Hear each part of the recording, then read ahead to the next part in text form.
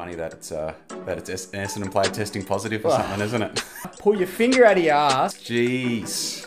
This is my first ever football jumper. My three goat votes, I should say. My three goats. My three votes for Three Charlie. For Char- oh, top of the world, mate. What a time to be alive. I look a bit like Niko Bellic from uh, GTA 4. I feel with this. That could that could get dangerous.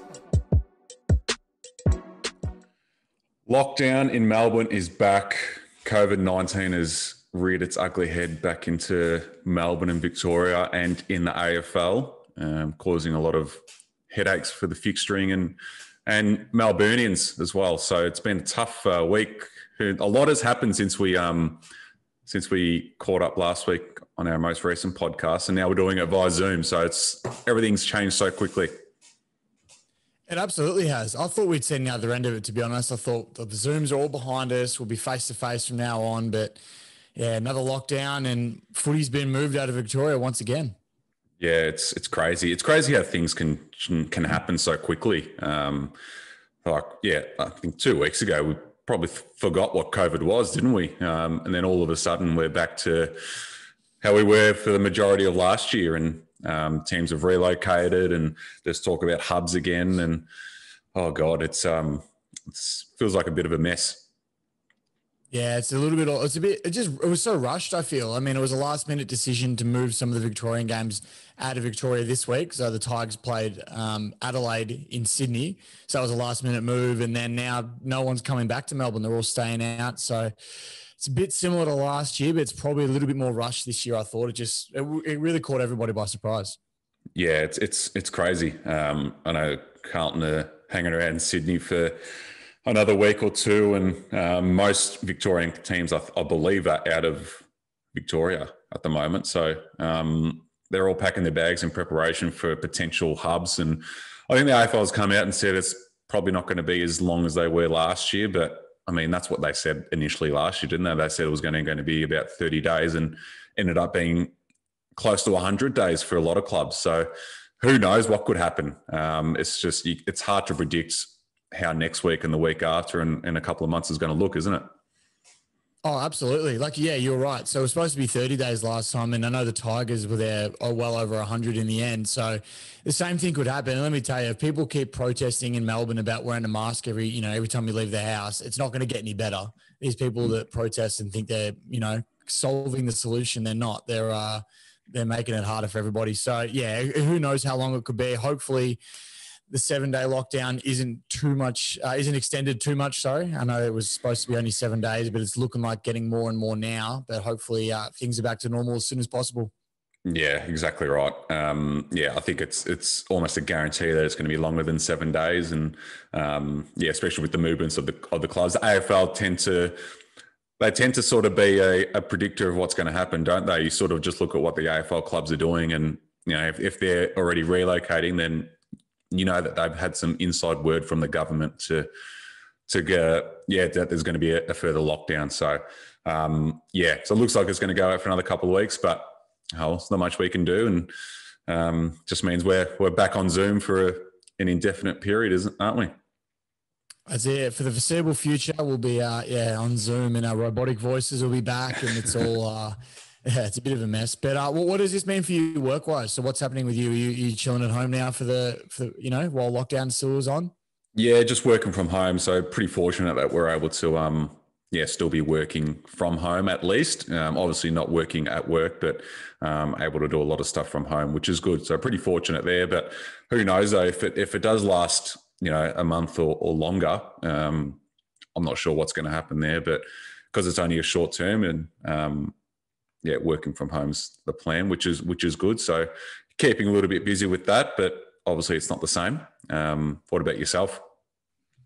Yeah, well, in a similar situation, I have the ability to work from home. Most of the stuff I do working in local sports media is all online. But the problem is when there's no local sport over the weekend, there's not much to cover. So I haven't done anything since Thursday, yeah, since Thursday last week. Um, and until we know what's happening with local sport, I probably won't be doing much till then either. Yeah, I know it's a it's a tough one for you, isn't it? How like how long can you uh, be working from home for without any local sport? Almost doesn't make sense, does it? No, exactly right. So like I have if there was local sport on, I could stay at home and do all the work from here, but when there's nothing Yeah. to cover. Yeah, it doesn't matter Yeah. where I am. So it's a bit unfortunate, but it is what it is. And, you know, I'll try and take this time to catch up on a few things because I feel like once the last lockdown ended, everyone dove straight back into work and sort of put a few things aside. So it's good to get time to catch up on those things now. Yeah, for sure, for sure. All right, well let- let's um let's talk some positive stuff and let's talk about some some footy and some of the normal things that went on over the weekend. And um, there was some interesting games to say the least. Like there was a lot of absolute stinkers, and then there was some decent games. And the one that sticks out for me the most is that that Essendon win against West Coast over there, which was incredible for for, for that footy club.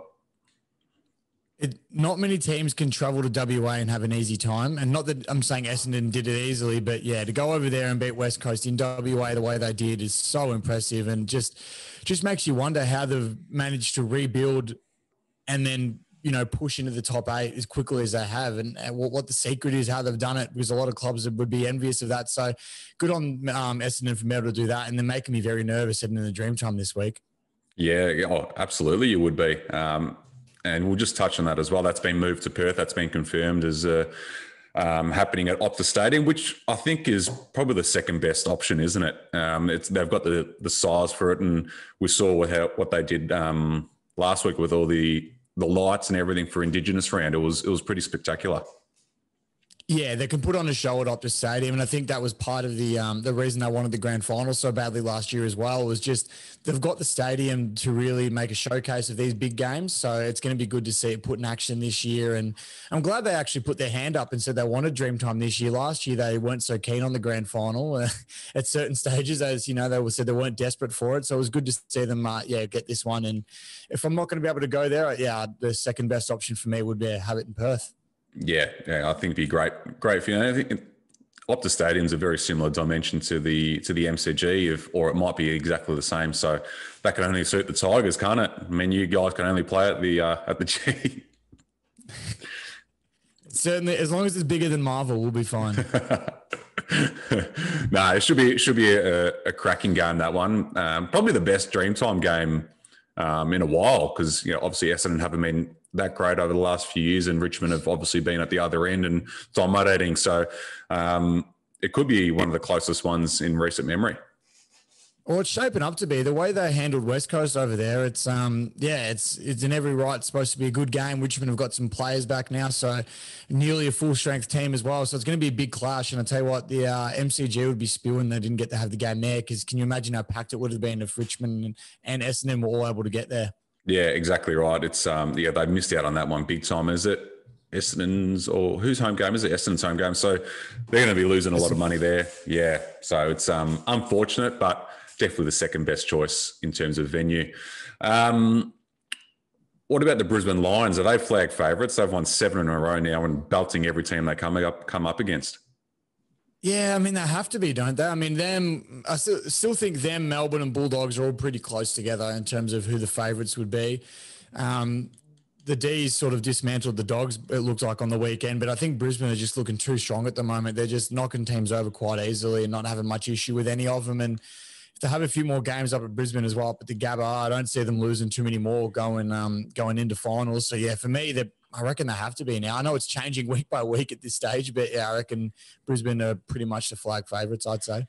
Yeah, they're just doing a number on, on teams and they absolutely smashed GW, GWS, who have been in, in great form as well. So it's um, it's scary good from them, and they just don't have a flaw in their team. I mean, they've got an unbelievable midfield. They've got a power forward. They've got a power defender. So it's scary stuff. So that for me anyway, I, I picked him to win to win the flag at the start. Um, I mean, I think I had him to finish on top. Actually, I think I had Richmond for the flag, Brisbane to finish on top at the end of the home and away season. So I think they're every chance to do it, and um, and they come up against one of the fellow contenders in Melbourne this week, which is going to be an unbelievable game. So it's um, all looking good for the Lions. And how's your boy um, Mitch Robinson kicking four and dominating on the weekend too? Wow. It was bloody, it was impressive. It was bloody impressive. I can't knock him for that. It was, uh, he's still got it. He shows glimpses. I mean, he doesn't do it every week, but not many players do that sort of performance every week anyway. But yeah, he still shows that he's got glimpses and it puts him, you know, shows uh, he's in the team. And uh, I think if anyone on that team is a barometer, uh, he's up there along with Charlie Cameron and not uh, the other idiot with the long hair. So, yeah, and uh, good on Mitch Robinson. He had an absolute blinder on the weekend. Well, Rhys Mathieson must have played well. Um, if Brisbane won, you obviously expect Rhys Mathieson to play well then, wouldn't you? In the VFL or the AFL? sorry. I like it. I like it. But no, he's the barometer, mate. So if he's playing well, Brisbane wins. So obviously he played well. Yeah, absolutely, absolutely. and every other game they've won this year, when he was playing in the twos, uh, it was just a fluke. So, well, let's move on before you uh, have a stroke. Um, so the, we just touched on it before, but the Melbourne Footy Club are obviously one of the flag favourites now, and they destroyed the Western Bulldogs on on Friday night. Um, I mean, on the scoreboard, it probably wasn't as no, it probably didn't reflect how, how much they dominated that game, but they they they killed them all over the park, and it was um it was one of those. They really put out a statement. It was a statement performance from from Melbourne, um, uh, especially after losing to Adelaide the week before, in, in those circumstances, to come out and beat the Bulldogs on their home deck at Marvel was bloody impressive. Well, I think the Melbourne game was definitely an outlier for the. Um, so the Adelaide game was definitely an outlier for the for the D's. That every every team's going to lose a game or two each year. No one. It's rare that anybody will go through undefeated. So obviously you can't look too much into that. But yeah, the way they bounced back, they made the Bulldogs honestly look like a second rate side, as if the Bulldogs hadn't mm. won you know ninety five percent of their games this year. So.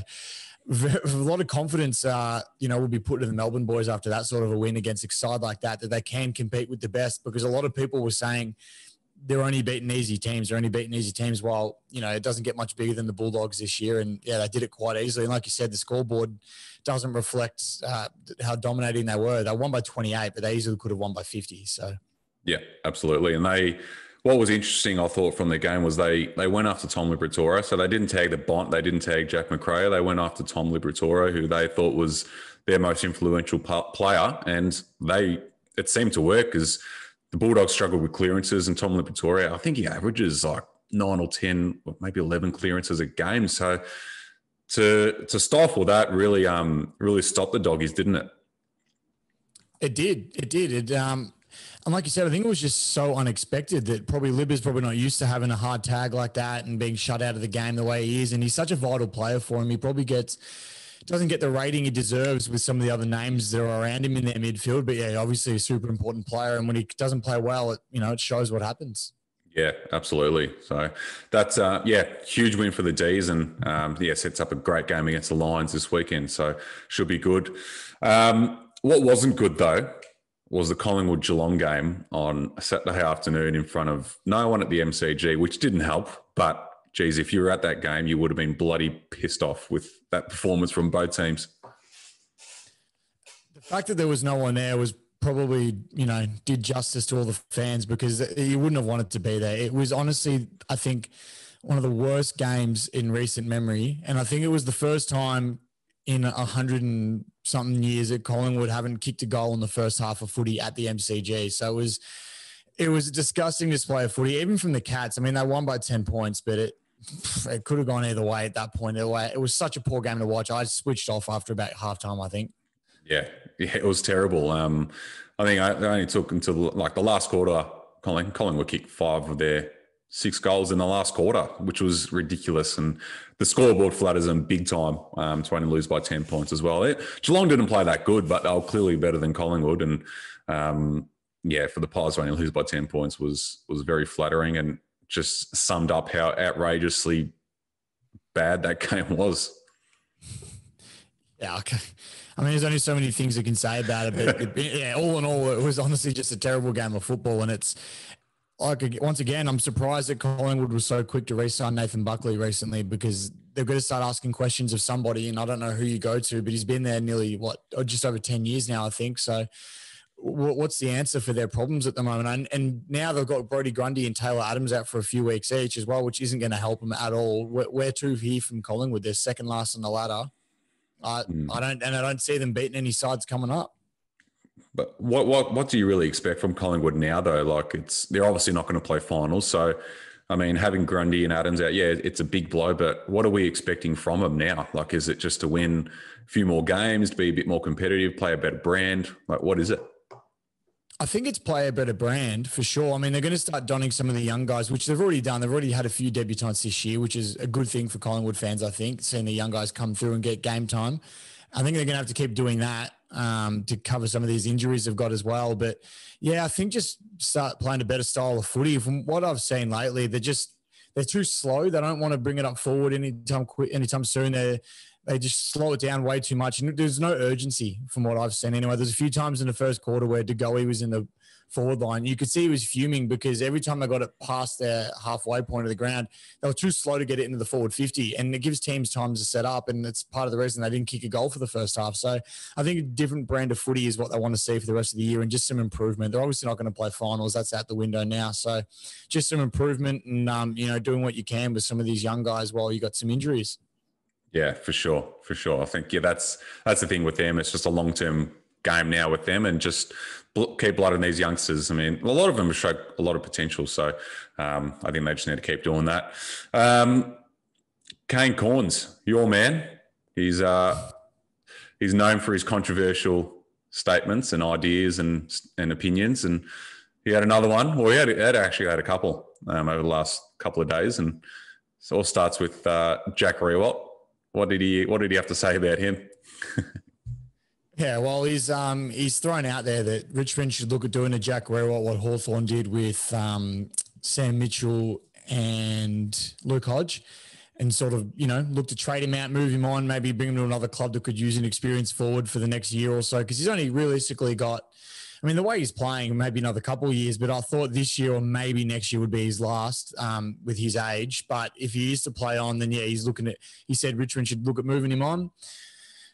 I don't think that's the way to go. I mean, it didn't really work too well for Hawthorn, did it? They didn't do too much more after they got rid of those guys. I know Hawthorn were in a different stage as well, but I think you keep on the jack. You don't get rid of a player like that. And I'm pretty sure it came out a couple of weeks ago. He said he was more than happy to take a massive salary cut just to play on another year um, and you know afford to pay these other guys. So if he's doing stuff like that, you're not going to get rid of a player like Jack. And yeah, I, I don't I don't see any point to it. Um, I know why he's saying it because we have some young forwards that you know will struggle to get a game with him and Lynch in the side, but.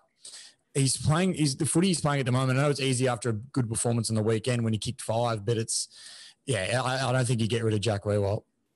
Nah, not at all. He's a heart and soul player at the club, and um, done so much for Richmond, and he, he was there during your your lean years as well, and he was probably your best player during those periods. So, um, no, nah, I think it's out, an outrageous call from Kane, and um, but you just touched on his um, on his performance on the weekend. How good was that mark?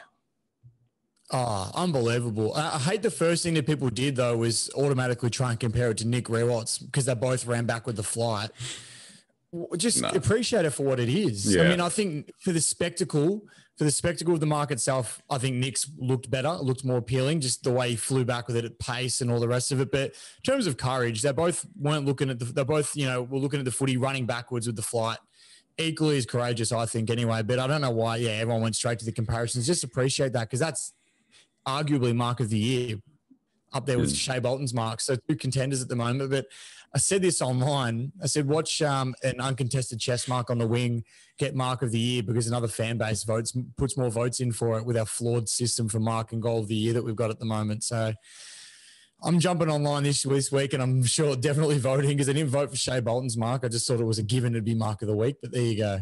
Yeah, yeah. Um, they need they need to change that for sure. Like um, if have that has that has that been voted yet this week in terms of what uh, won? Not that I'm no, not, not, yet. That I'm aware of. No. No. So if it, if, if, it comes out and Riewoldt doesn't win it, geez, it'd be an absolute war from the Richmond fans. Oh, it has to be though. Like you can't. Yeah, I don't know. Yeah. You can't not reward that for mark of the week. It was arguably, you know, mark of the year in previous years gone by. It would have won it. So yeah, you get to give it mark of the week at least. Yeah, definitely. And even like Shai Bolton's one, that was people at the time were saying that's one of the best marks um, of recent time. Um, and then not to not get given the mark of the week was ridiculous. So I think Jack's definitely, and um, more just for the courageous aspect of it, in, instead of the um, you know the high flying over the shoulders type mark. This was just a courageous act uh, back and back with the flight of the ball. So um, yeah, he has to win it in my opinion, anyway. Well, in saying that, he did, he still did get some height and get on top of a few Yeah. players as well. So he ran back and he still took a hanger somehow. He, I think he just got on the back of um, Jason Castagna there and he got a bit of a ride. So he ended up getting up pretty high as well. So yeah, I think you got both aspects, courage and height. Surely has to take it. Yeah, yeah, for sure. And we'll just touch on that. What do you think of Richmond's performance against the Crows as well? It was a bit up and down that match. Yeah, it was a little bit up and down. Adelaide definitely had us in the first quarter. They were all over us. And I was thinking, oh, geez, here we go again. Adelaide are going to pull one out of their ass again like they did against the D's the week before. I thought, oh, no. But um, no, we turned it around. All right. I thought we played pretty well the rest of the game. We went in three quarter time, I think 33 points up. And that's when I really wanted to see us bury them. I thought you're up at that, you have that kind of a lead, put the foot down and just, you know, run away with the game. And that's as a Richmond supporter, especially with how we played recently, we really wanted to see that, build some percentage. Adelaide clawed the game back and they came to within two goals, I think it was. And then, you know, Riewoldt kicks three in the last quarter and we win by 28 in the end. So still happy with the win. I'm not going to complain. You'll take those wins any day of the week, but I would have liked to have seen them put the foot down a little bit more. But I don't know. You'll take it. Yeah, yeah, absolutely. I mean, Adelaide have shown that they're they're no slouches this year compared to last year. They've come a long way in in 12 months. So, um, and the way you guys have been performing lately, you, you sort of just take those wins, don't you? Yeah, absolutely. I mean, a win's a win, and we need every win we can get at the moment if we want to seriously contend in finals this year because we're going to need to finish high up on the ladder. So, yeah, we'll, we'll take the wins when they come. And yeah, I'm, I'm happy with the performance. We had Coleman Jones, you know, play second game of AFL, kick four goals. One was from the boundary line. So he's promising. Um, hopefully he continues that form and you know makes it difficult for Lynch to get back in the side possibly if he plays well. So who knows? Um, there's some exciting signs. I'm, I'm happy with what I've seen. We still got a couple key players missing as well. So once they come in, it's uh, hopefully all up from here. Yeah, yeah, for sure. All right, well let's uh, let's move on to round 12.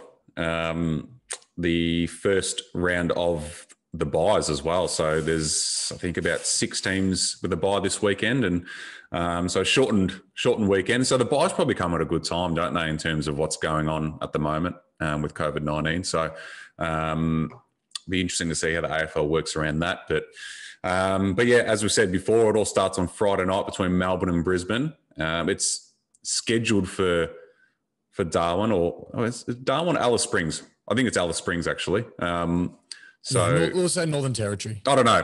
It's some somewhere up there. So, um, but that's more than likely to be changed to a neutral venue. I'd say. I think so because I'm pretty sure they were talking about potentially doing Dreamtime up there as well, and they were saying there's um, issues with the uh, Northern Territory and border issues and whatnot with COVID now. So I'm not sure if that applies um, still to at the moment. So we'll see if that changes. But yeah, I think it probably will move to a neutral venue, but we'll wait and see. i w- I'd like to see it up there, especially for so Doug Nicholls around again. It'd be good. Yeah, absolutely. It would make a lot a lot of sense um, to keep it up there. But um, but yeah, it is what it is. But really looking forward to this one and seeing how Brisbane do perform away from the Gabba as well, and whether they can um, translate that dominance that they have at home uh, to a an away ground and and against a another great team in Melbourne. Absolutely. I'd love to, I wouldn't, I don't want to see them do what Port Adelaide and West Coast do. And as soon as they travel, they, they struggle. I want to see them put up a, a good fight. And if it's in a neutral venue as well, then both sides is disadvantage in that sense. So I think it'll be a good battle either way. But I'm leaning towards Brisbane at the moment, just from the form that they're in. But then Melbourne's midfield, on the other hand, is dominating as well. And if they can shut a couple of key players out, and I think Lachie Neale is still out as well, if I'm not mistaken, Yep. or did he come back? No, Um, he's still out. He's still out. He's still out. So I, yeah, I'm, I'm going to go Brisbane, but I think only just. Yep. I'm going to go. I'm going to go Melbourne only just as well. I think it's going to be a real tight game and two heavyweights going at it. So I think the D's just, just especially coming off their win against the Dogs is going to really. Um, and I think that that loss, as we said before, that loss against Adelaide was um, a good wake up call from them, and I think they won't won't turn back from there. So I think they'll get up just, which is going to be a ripping contest no matter what. Um, Saturday afternoon, we've got St Kilda and Sydney. Um, this is scheduled for Marvel, but who knows? Who knows where this could be played? I don't. It won't be Marvel. Surely not. Um, I don't know because Sydney would have to travel back into Melbourne, and then how would they go getting back out? So it's Yeah. all logistical stuff that you and I thankfully don't have to worry about. But I think it'd be moved. But either way, I think it might be a bit of a lackluster game from what St Kilda have been showing lately. The Swans seem pretty good at the moment. Yeah, yeah. I think Sydney are Sydney will be too good there. I don't think it really matters where that game's played. Although there was talk about it just um, being swapped over to, to, Sydney's home game, and then the Saints play them at Marvel later in the year. But um, who knows? Who knows? But yeah, I think Sydney win that regardless. Um, later that day, we've got Adelaide and Collingwood at the Adelaide Oval. Um, geez, I think could be a nice, easy one there for the Crows. You'd, you'd think, given Collingwood's form. Well, that's it. With the way Collingwood have played, you can't see them beating Adelaide, especially with the form Adelaide's been in. But who knows? Footy's a footy's a weird sport. But yeah, no, for me, I'm going the Crows all day, especially their home ground. I don't see uh, Collingwood getting the job done over there. Yeah, and especially with Collingwood's outs as well. Like, just yeah, can't see them getting close to the Crows. Um, the Dreamtime game also on that night, as we spoke about before, it's going to be a great contest of Essendon in really good form and Richmond being Richmond. It's going to be a, great game up at Optus Stadium. And geez, can you? I think I, there, there's going to be some brave people out there that do tip tip Essendon, and I don't know. I just it's it's going to be a really really tough contest, just given how Richmond have yeah been pretty up and down so far. So it could be anyone's game this one. Absolutely. I, I, wouldn't blame anybody for tipping the Bombers this week, to be honest with you. I mean, I'm not personally, I'm still going the Tigers, but I, I don't blame anybody. Momentum is a beautiful thing in footy, and they're flying at the moment, especially with a win in WA at the same ground. They're comfortable there now. Um, they're relaxed, so they don't have to travel anywhere, which is good for them. So they're every chance to win this one. I'm going to go Richmond just purely for experience. We get Shane Edwards back into the side, who was a massive, massive in for us. Um, Cotchin and Prestia have now had another game under their belt, coming back from injury from last week. So I'm got some confidence going forward, but I, I, think it'll be an absolute ripping clash. And like you mentioned earlier in the podcast, I think it's going to be probably the closest one we've had in recent memory. Yeah, yeah, for sure. I think it's going to be a great game, and um, if Essendon can continue on what they've been showing the last well, month or six weeks, they've been been really good, and um, I think I think they're every chance to win it. I'm not going to tip them because I just think Richmond are just are just too good, and um, we'll always find a way to win these sort of big games. Um, but it wouldn't surprise me if Essendon got super close. But I think the Tigers just, which I'm yeah. sure you'd be happy about. You can't you can't stand losing to Essendon, can you? No, well, I can't stand losing to any of the big four clubs to be honest. So it's uh, and we haven't we haven't in a little while. So I wouldn't I don't want to see that streak get broken now. Yeah, exactly. Uh, Sunday afternoon, we've got Carlton and West Coast at the SCG. This one's been moved to from the MCG to the SCG, and uh, I haven't spoken about the Blues on this podcast yet. Um, You've been quiet about them. I was going to bring them up, but I thought, is it still touchy? Yeah, I was.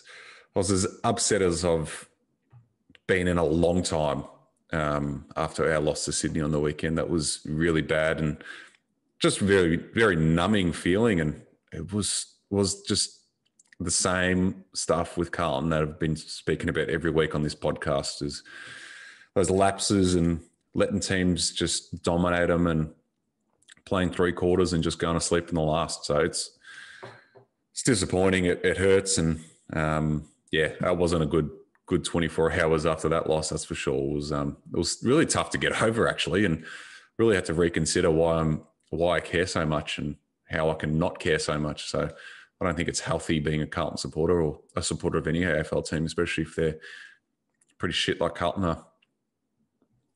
AFL does things to people that it's hard to explain. It can, uh, it can really, honestly, it really does affect your day to day life outside of football. So, I was scared to do this podcast a couple days after with some of the fiery messages that I was seeing you you sending. I thought, oh, geez, this could be uh, this could be heated. but um, I think the, the, amount of times that you can say, I don't care anymore, I'm over it, it. The next week comes around, the team runs out, and you're just as invested as you were the week before, ready to go again. So it's a weird thing, footy. But um, yeah, I can understand the disappointment and frustration, having been through it myself. Um, you know, at times, so I get it, I get it, but you know, there's always an up. I'm looking at the you know the sports bet odds at the moment, and you guys are heading into this game against West Coast favourites mm. at this hmm. stage. Are you surprised sure by how. that? Yeah, I am a little bit. I mean, West Coast to West Coast, but probably playing them away from home helps, and um, playing them on a on a tight ground like the SCG, um, it might suit us a bit. But uh, I don't know. I don't know. West Coast do have a lot of outs too, so it, it yeah. I mean, I thought our season was done after losing to Sydney, um, and I mean, if we lose this, it's it's nail in the coffin stuff. So, um, yeah, I mean, there's we just simply have to win, but. I, I'm just not brave enough to tip us after what I've seen the last few weeks. Even that our win against Hawthorn just wasn't impressive, and I don't know. I don't know. I think I'm. I think I'm gonna tip West Coast in a tight one. Hopefully that does favors for your blue baggers, but I'm I'm gonna go Carlton for this one. Um, I think you guys don't have to travel. You're up in Sydney now. You're staying up there. West Coast are terrible away from home, and like you said, they got a few injuries that are pretty key. So I'm I'm thinking you guys will get the job done, but the look on your face says maybe I'm making the wrong decision. I don't know, but I'm, I'm going to tip the baggers in this week. I just uh, on what basis do you uh, do you think we're going to win? From what have you seen that you think we're going to beat West Coast? I just it's it's more what I've seen West Coast away from home that makes me think you guys are going to win. Mm. And I, the, the the quarters of footy that you guys play when you when you're on, you're absolutely on. It's more just you. I think the biggest issue at Carlton at the moment, and correct me if you think I'm wrong, but is that it's not a four quarter effort, or it's um, or even if it's a four quarter effort, it's the last five ten minutes of quarters that you guys slip off a little bit, and teams sort of get a couple goals on the board. So, I think those are the things that hurt you. But I whenever I watch West Coast play away from WA, um, and especially with these injuries, I just I don't see much. And I think you guys at the moment be wanting to bounce back. And I saw it last year a couple of times when it was sort of ride or die, and you guys managed to get over the line and you know just keep the flame, the flame of your season alight. Um, and I reckon you would just do that again this week. But yeah, like you said, it, who knows? Honestly, who knows? Yeah, who knows? Who knows? But yeah, it's it's a huge opportunity to to beat them this week, and I, I fully expect us to have that attitude, and and it wouldn't surprise me if we did get up. But it's just like you think you say this every week, like it's like okay, surely they've learnt their lessons, and it's going to be different next week, and they'll they'll work on their deficiencies. But it just it's it's honestly the same the same stuff every week, the exact same issues. So I don't know. It's just it's hard to hard to get a read on, but um, yeah, it's really it's a toss of a coin that game anyway. But I think I've said enough about the Blues now, and before I start getting angry again, um, I might move on from it. Uh, Safer well, uh, for everybody listening. Yes, exactly. Uh, the final game of the round is Freo and the Bulldogs um, at Optus Stadium. So that is going to stay at that ground, I believe. So I think the Bulldogs already flown out and and uh, preparing to play in Perth. And it's a tough game because Freo, another, another team that are shocking away from home, but very good at home. So it's going to be a, good contest.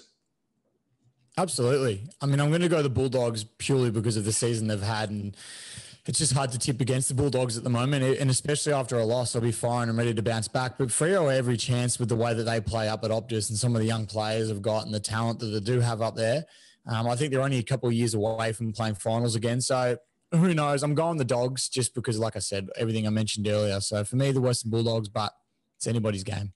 Yeah, it is hard to tip against the doggies, um, especially yeah with the season that they've had. But um, would not surprise me if Freo got up and um, in front of their home fans. So interesting to see how that game plays out. And that is all the games for this uh, for this round. Obviously, yeah, as we said before, it's a shorter round with the byes and Gold Coast, North Melbourne, Port Adelaide, Hawthorn, Geelong, and GWS all have the byes. Um, so going to be another interesting round of footy, and who knows? I mean, anything anything could happen between now and then as well. There might be fixture changes, venue changes, and and everything. So, what I well, a positive that I can sort of take out from being in a lockdown and COVID running rampant again is a potential of a footy frenzy coming back, where we had footy on almost well, it was every night of the week, wasn't it?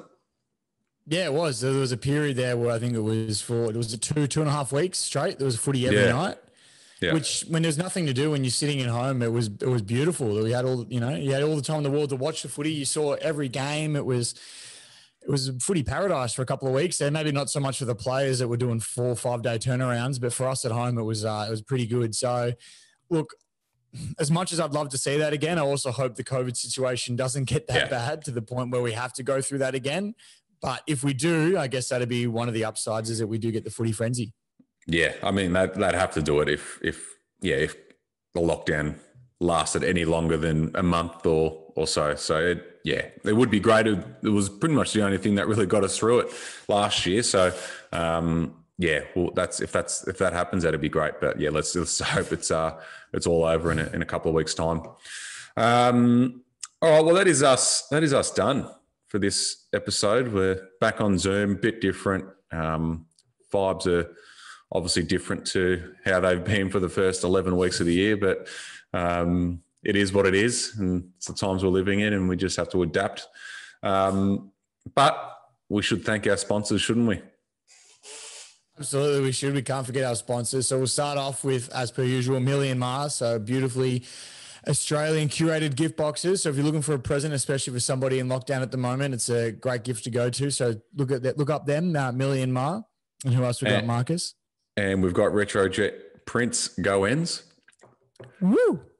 that was a bit of a delayed one, that one compared to usual. So probably not as funny when it's delayed. Um, but uh, did you want to plug what you're doing for June as well?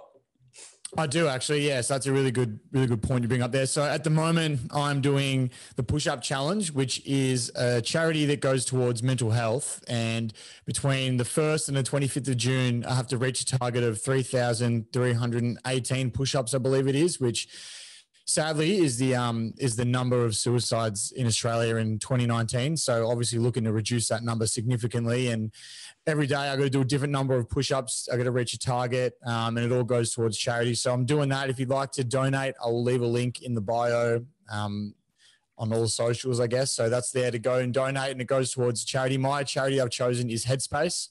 So mental health is obviously really important at the moment, and it's it's got a bigger light shone on it than ever before in the past. But I think we've still got a lot of room to grow, and you know we can do better in that space. So that's what we're trying to do and try and grow that. So yeah, if you if you can donate and you're financially able to, I'd really appreciate it. You know, every dollar counts. So yeah, donate donate to there. Oh, love it, mate. Love it. It's a, it's a great cause and it's a great thing you're doing. I'll, I'll certainly be donating um, to that. And yeah, I encourage everyone to, to get around it. It's a, it's a great thing. And um, yeah, definitely uh, would love to see the, that mental health space um, continue to be looked at and improved on as well. So all good things there. Um, but that that is us done. Um, as I say every week, make sure you leave us a review, subscribe to us on iTunes, YouTube, Spotify, wherever you listen to your podcasts, and um, yeah, and we'll uh, hopefully be in person next week. But looks unlikely, but most likely be back on Zoom and um, doing it all again. That's it. We'll uh, wait and see what the uh, what the next week brings, but hopefully we can be back in person. Although, like you said, probably unlikely at this stage. But the Zoom works. We still get to you know do what we love, and I guess you got to look at the positives, and this is one of them. We still get to do what we still get to do what we love. So we'll keep doing it as we, as long as we can. No worries at all. Um, all right. Well, enjoy round 12 and stay safe if you're in Melbourne. And um, yeah, hopefully this is all over pretty soon.